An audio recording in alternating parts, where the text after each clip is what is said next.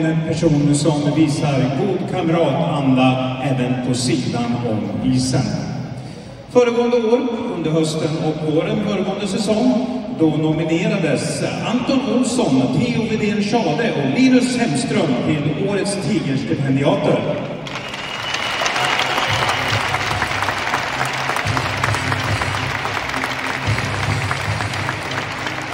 Och med oss här idag så har vi stiftelsens ordförande Lennart Tovelius och dessutom Tigerns dotter Pernilla Andersson för att dela ut priserna.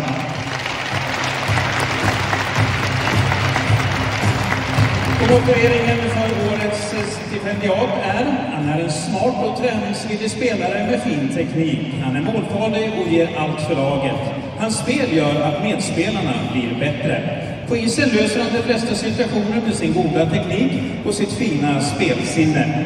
Han har en stigande utvecklingskurva som kommer att ta honom långt inom hockeyn. Han är en god lagkamrat och får fina lovord från skolan som han sköter extremt bra. Årets eh, stipendievinnare är Anton Olsson.